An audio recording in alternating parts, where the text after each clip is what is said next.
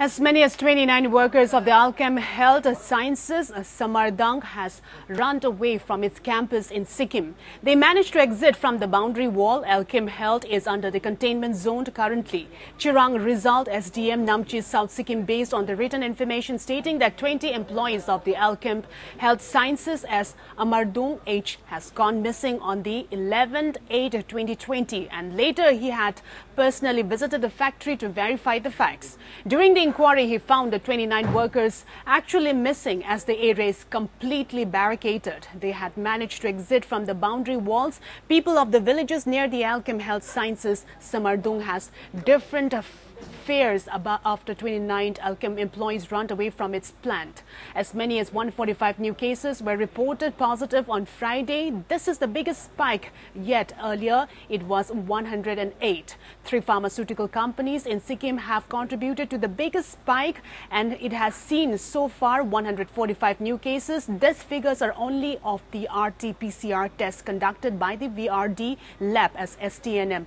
As of Friday, Sikkim also conducted conducted a tenant a Truenat and the rapid antigen test, so the number of this 24th HR period could be higher. In 142 Alkem, 2 Swiss Garnier and 1 Zuventus, the number of the active cases has now crossed 494, while the total number of the cases detected so far in the state of Sikkim stands at 1076. 581 persons have been recovered with 31 being discharged on Thursday. का जो DC का notification था, उसका हिसाब से जितना भी area में है, वो लॉकडाउन करने के बाद किया था बैरिकेशन करने के बाद किया था। तो हम बीस तारीख सुबह साढ़े पाँच से ले जाकर तीन बजे तक तो हम लोग वहाँ पर बैठा। पानी में भीग भीग के बैठा।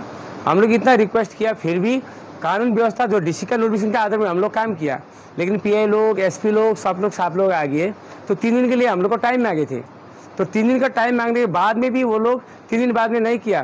पूरा वो लोग क्या किया? पूरा कंपनी के अंदर में आदमी डाल के किया तो इसके हिसाब से ऐसा हो गया तो since after the uh, covid reporting of the covid positive case once that area is barricaded contained so it is because of this neither the management nor the administration could enter and see every time go and see so out of that panic or whatever it may be might be they managed to escape from the boundary wall so without informing the management they just escaped from that place they didn't come to the Mamring site.